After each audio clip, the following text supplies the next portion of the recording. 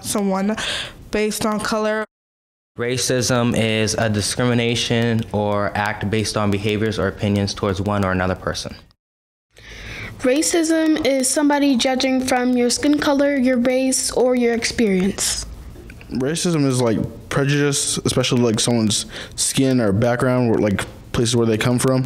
Racism is basically making fun of someone else based on their culture or their difference, background, and their skin color. Racism means like prejudice against a certain race or a certain like religion. Racism is prejudice against someone for their background, race, or gender. Racism is um, the act of being judgmental based on someone's race or color. Racism has been a continued theme in the United States um, since slavery all the way to present because it was built into the system. Therefore, people have developed those ideas and continue to carry them and teach them to their children, so therefore, it is still present today. Uh, my thoughts on racism in society today are that we've come a long way.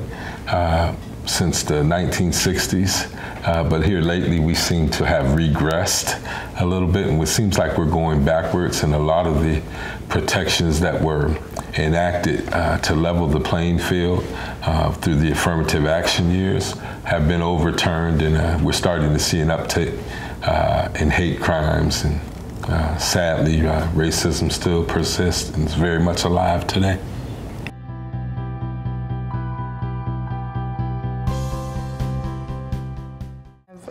Uh, experienced racism in some of my classes.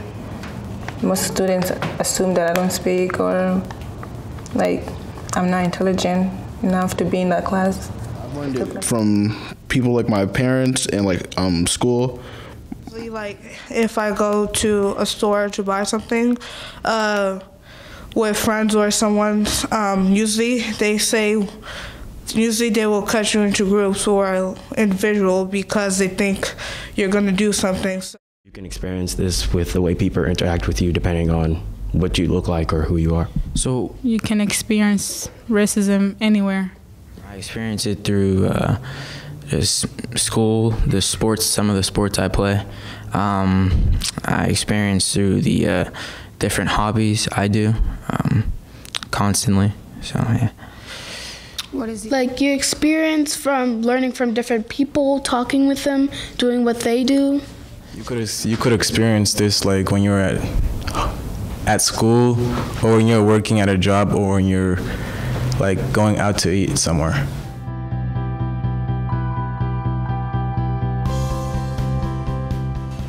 Um, as an African American female, it can be very difficult because you have basically two things that um, may be uh, roadblock in per se in a professional career.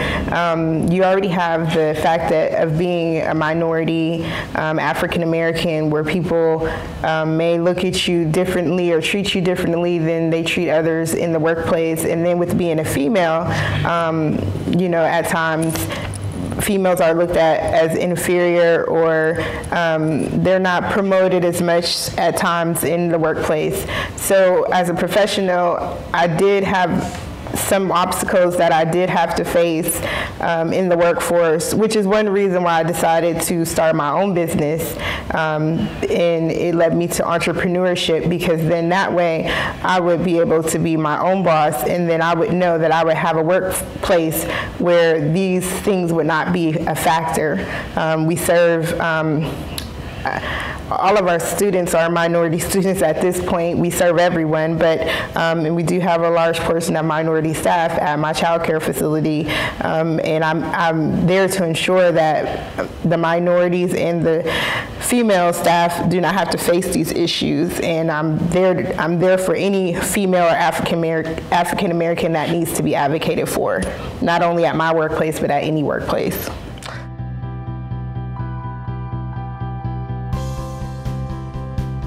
Like to say that they uh, that they were few, uh, but the reality is that there is that there are many.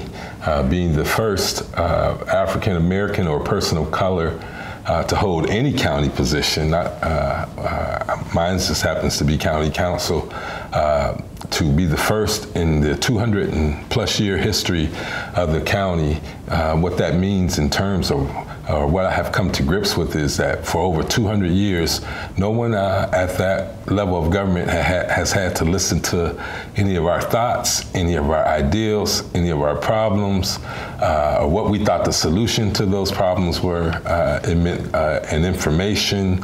Um, uh, deficit. Uh, we didn't know where the county dollars came from or how they're expended, and, and uh, just being a new face or a new voice in the room that doesn't look like everybody else, uh, and and no one's had to uh, to uh, consider some of those things. It, it can be a little challenging.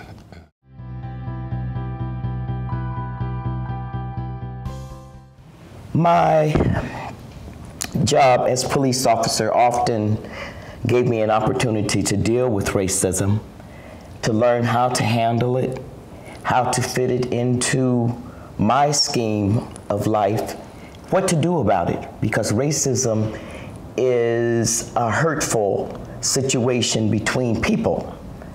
And once you learn to deal with racism, you are able to do a better job wherever you're working.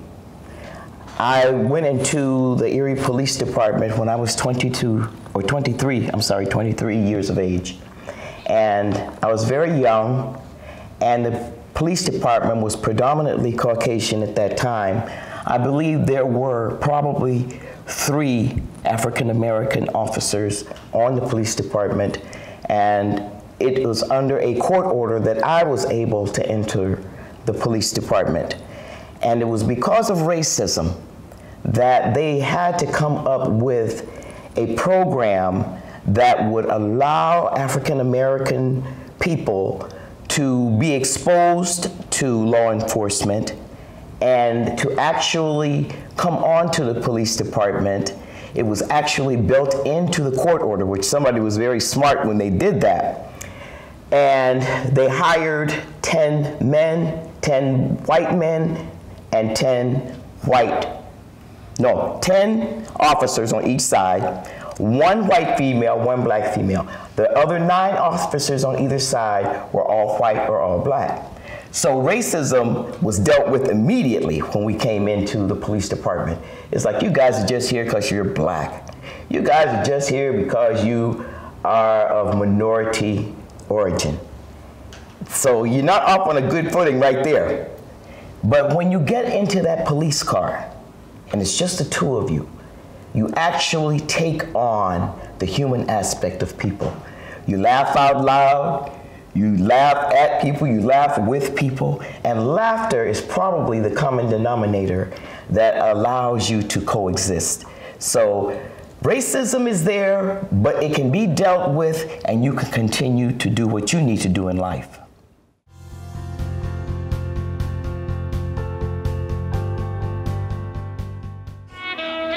No hate in this place.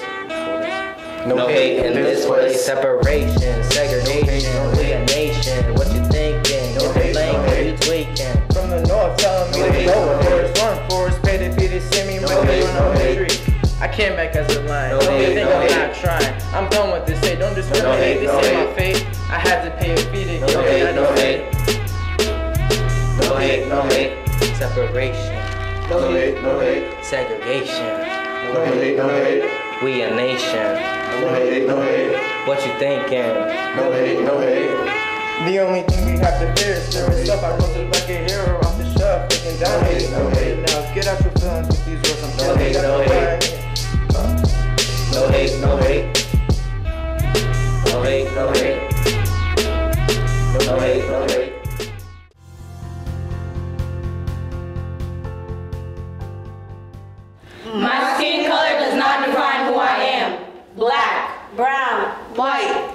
We must bring racism to an end. My skin color does not mean I am a criminal, disrespectful, invisible. Because I am black, I am expected to be aggressive and rude. Because I am black, I am expected to be uneducated and loud. Because I'm black, it's whack that people think we talk smack. Because I'm black, I'm expected to be a follower, but I'm a leader. I'm educated. I'm strong. I'm talented. I'm confident. I'm beautiful. And I'm black. Therefore, my skin color does not define who I am.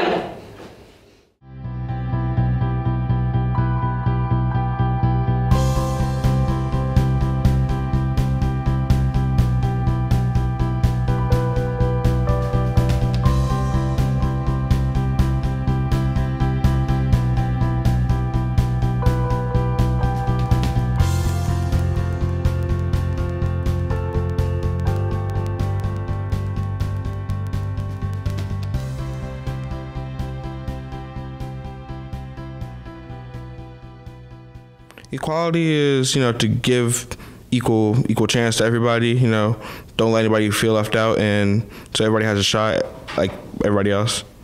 Equality is just treating people with the same and equal respect. Equality is the act or um, action of showing someone that uh, certain things are able to like be shared equally, such as rights that we all deserve, and um, equality i'm thinking like everybody like has supposed to have the same like equal rights. Equality is when everybody is treated the same no matter what race you are your gender or your age. When everyone gets the same thing and no one gets left out. Yeah equality is everyone no matter what color or um, or who you are having the same opportunities as everyone else. Equality means treating everyone fairly, dependent, no matter what uh, they believe in or who they are.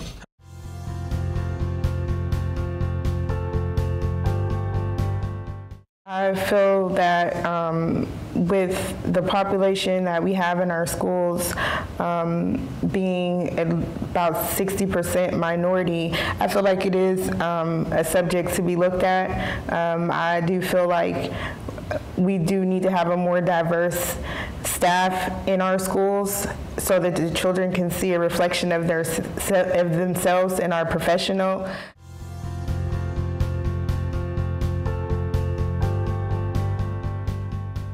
I think that this is a subject that should be discussed and looked at more closely. Um, we are, we are personally, I know that I am looking at uh, minority um, inequities in the school district, and um, there is currently a study being done on, on the situation um, at certain grade levels, but once again, with the new high school being combined, and I feel like um, it is being addressed with the new position that was created with uh, Mr. Ken Nixon as the minority, um, basically our professional minority consultant so that he can take talk to some of these students, see what's going on with some of them on a administration level and maybe take some action about doing some of these things.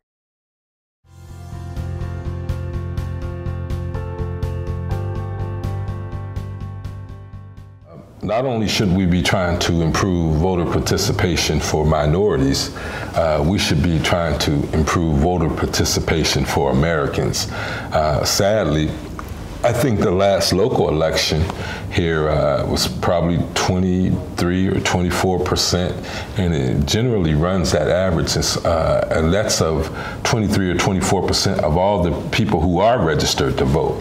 Uh, but there are so many people who who, who uh, haven't taken advantage uh, or haven't done their civic responsibility, it's really, uh, along with it being a privilege and a right, it's a responsibility. And so when we don't go to the polls and when we don't vote, uh, then decisions are made for us by those, that minority uh, um, number or the small minority of people who do go. And I'm not saying, when I say minority, uh, I'm not saying in terms of ethnicity, I'm saying in terms of the, the versus the major number of people who are registered to vote, only a small minority of them come out, and that's that 22, 23%. Um, and it allows for us to uh, when that doesn't happen, when we don't go out to vote, it allows for us to have a climate somewhat uh, in what we live in. We find ourselves today after the last presidential election. We find ourselves in a, a, climate where uh, intolerance uh, seems to uh, be the order of the day. Uh, when those voting rights acts of 1965, uh, when it legislated that we could have that right to vote, it seemed that we were leaning more towards tolerance. Um, and so when we don't go out and exercise our rights, and when we don't go out and exercise our responsibilities, then laws are enacted upon us that don't always work in our favor. Uh, and so in, from 1965, uh, up until recently, uh, people believed into the, into the American dream, uh, but we have so much apathy, not just in the black and communities of color or poor communities, but there, there's apathy in the white communities, in the rural communities as well. People don't believe in the American dream like they did when my, our parents were, and, and when you thought that your children would would do, and you hoped in, that they would prosper more than each generation uh, would do better. And uh, I think sadly sadly, my generation is the first generation where that didn't happen. And, and uh, I think that um, we improve racial relationships uh, one person at a time, one relationship at a time. Uh, you can legislate laws on people, but you can't legislate hearts.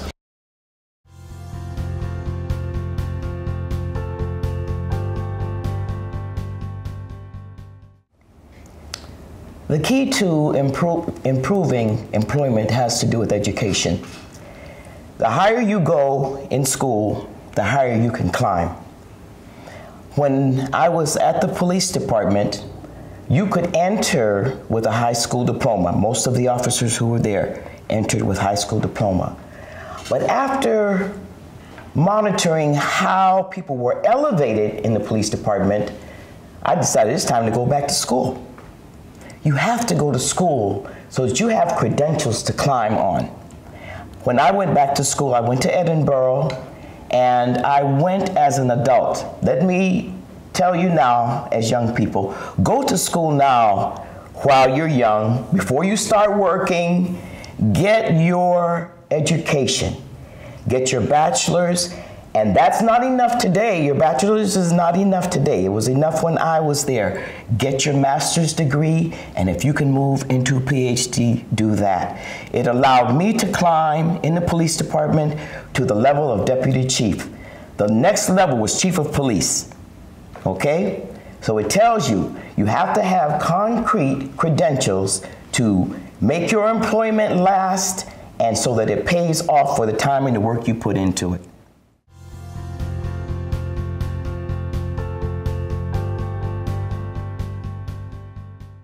Because uh, black or white, uh, what I find is we all want the same things. And we all want our children to do better than we did. We all want uh, for our children to live in a clean environment, a safe environment. We all want for our children to be able to go to clean schools and, and to be able to have an affordable, quality, accessible education. And we all want our children to have opportunities. Um, and so uh, we try to foster the environment uh, in my household uh, that we don't judge people by the color of the skin we, we judge you by uh, by what you do. Uh, my brother and I have this saying uh, that we say, well, I, I, can I can show you better than I can tell you, uh, because people tell you a lot of things. They tell you they don't see race, uh, but I can tell you they do see race, uh, and it's not race. race isn't always a pretty sight when we do see it, but when we get when we're able to overcome it in those instances in those one-on-one relationships, beautiful, beautiful things happen because it, um, because I believe that the blessing is in our unity, uh, and America truly can't be as great as America should or will be uh, until we're all on uh, a level playing field. And sadly, that isn't the case. Jesus loves the little children, all of the children of the world, red and yellow, black and white they are precious in his sight. Jesus loves the little children of the world.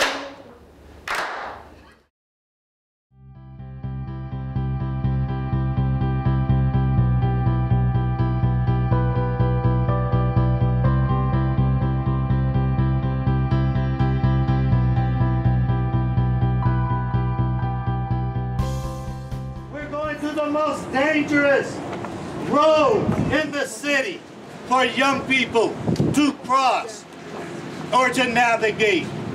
Where young people have lost their life. Where there's a young man clinging to his life who was hit right around the corner. We're going to get up there and pray for his family. Because we believe in two things. The power of prayer and the power of our feet.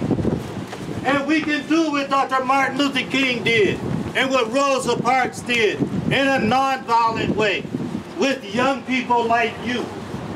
With young people like you standing up and taking a stance, asking the people who drive to respect the privilege of driving that they have by slowing down so they don't hit someone's child and run. Yeah. Okay? Now, if you're with me on that, let me see your hands. Okay. Now, that's...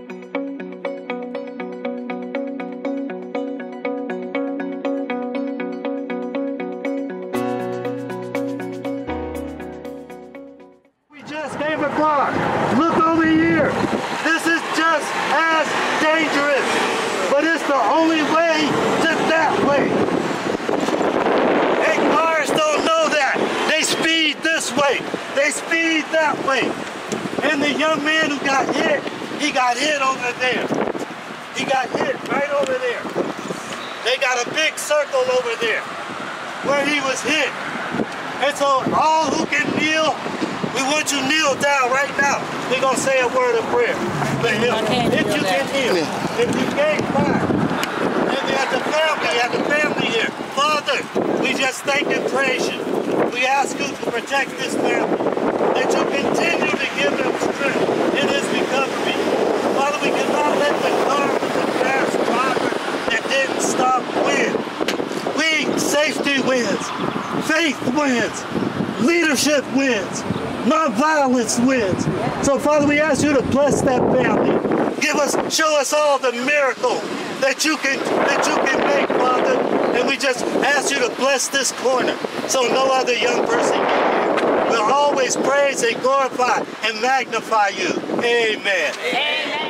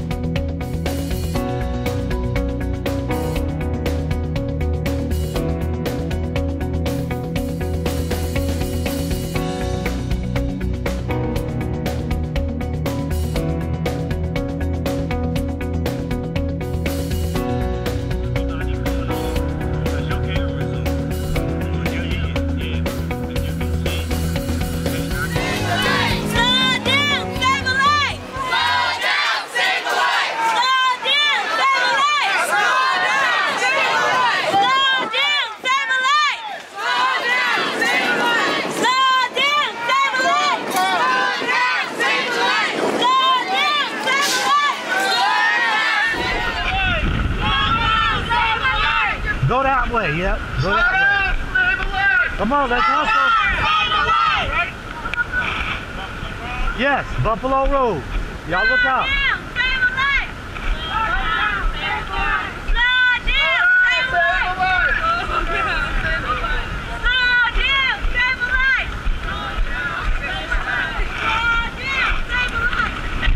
Stretch it out. Go ahead.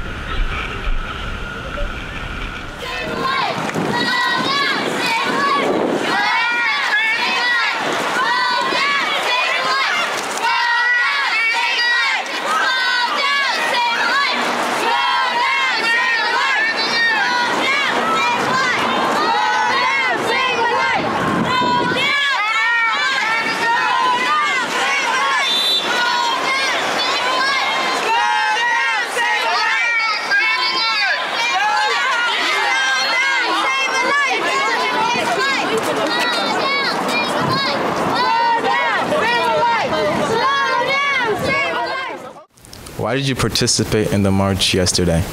Um, I participated in the march yesterday because I wanted, personally, I think it's important to raise an awareness for the public to see how dangerous the uh, Bayfront connector have been because there is not enough sidewalks for the people to cross and some cars even exceed their um, limit the limit they're supposed to be going they exceed that. So i find that to be dangerous. So and most people don't know about that. And there have been multiple accidents that have occurred in that place. So yeah to bring an awareness for children's safety. March was about raising awareness for the kids that cross the bayfront and the kids that get into accidents there. Why did you go on the children's march? because um what I've heard about the eight eight year old and um the five year old getting hit. What was the march about? Um personally I marched because I wanted to feel what some of the um kids in nineteen the nineteen sixties felt when they was marching. How can the Well, the children's march we have is basically inspired from the children's march in 1963 when children of all ages came together, left school to do something that the adult couldn't do. So basically to fight for equality, civil rights movement, women's right movement.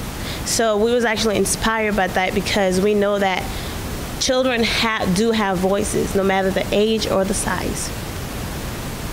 So how can the city of Erie improve this problem? Well, recently we've noticed that there have been a lot of hit and run, and it's mm-hmm. mostly with children in elementary school. We haven't heard anything from high school yet, but we're trying to raise awareness to the Erie community mm-hmm. that there, it is a serious problem because now we have kids outside of school, and we do need safety for our kids. I have a four-year-old. I want him to know that he can be safe crossing the street, and with what we're doing, I think that leaders of Erie will see that you know we need safety for our kids. Mm-hmm. Thank you very much.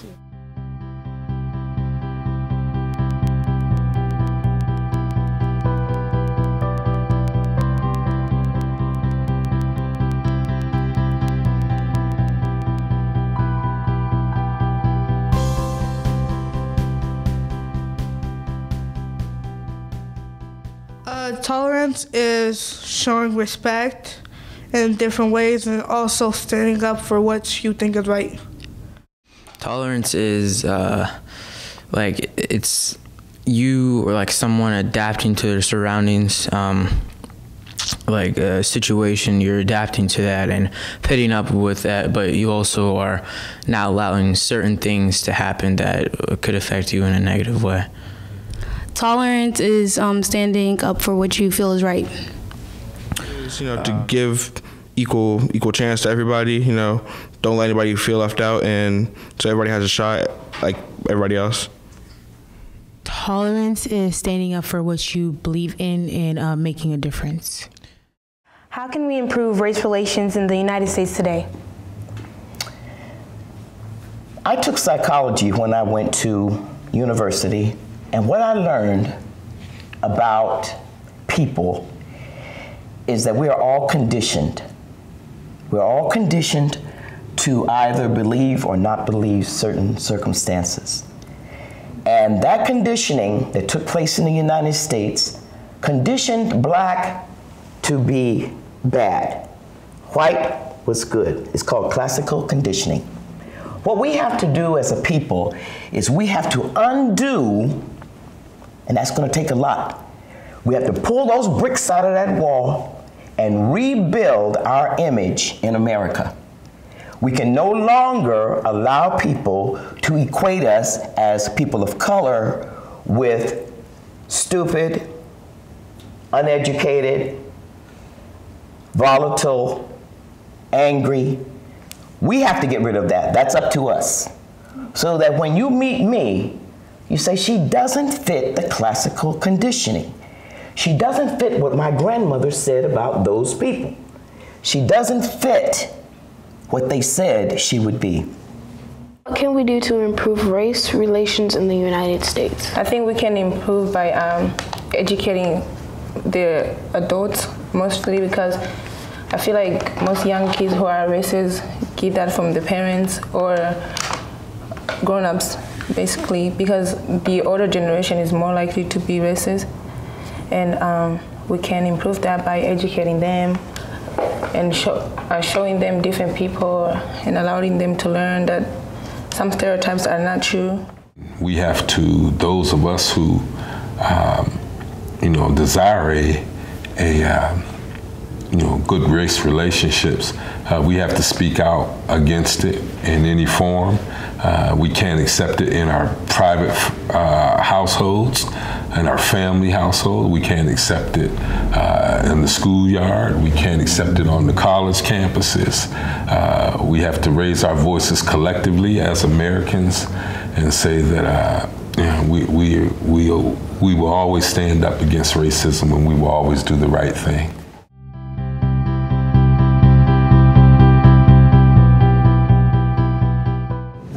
Showing kindness to one another because because some people even though they haven't met people they would just stop and they would just don't they won't do any kindness or show any maturity because they because of what they're taught.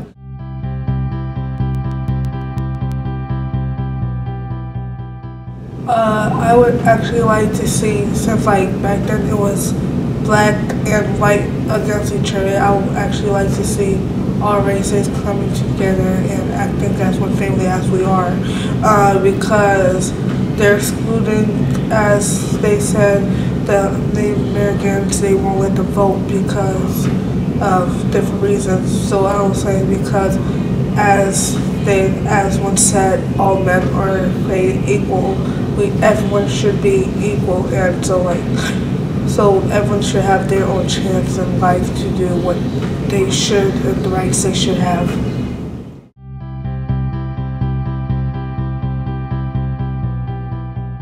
I would basically like to see like everyone um, united, everyone working together, getting along, because that's the only way we can have a better future, and like that's the only way America can be great.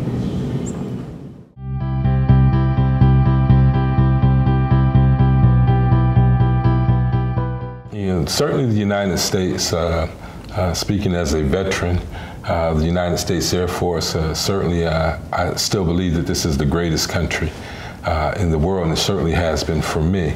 and others from different geographical lo- locales may beg to differ, uh, but I've never been to a, and I've been to several countries, and this is the one place that uh, uh, where we were able to achieve one man, one vote. Uh, this is the place where uh, our country was founded on uh, the separation of church and state, and, and, we, our Constitution mandates that um, every individual should be deemed free, born a free man, and have certain inalienable rights that are that are guaranteed to us under the Constitution.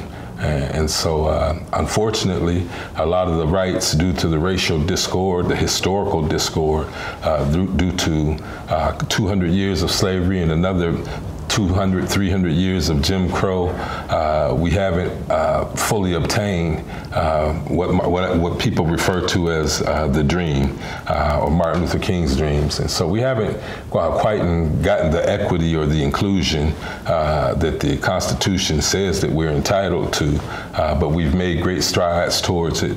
we still have a long way to go. warahawe none raba wamaze kurambirwa ibyo mbona mu isi byarahungurutse sengera iyo ngabire yawe. Hari ngabire wari warahawe. None raba wamaze kurambirwa ibyo mbona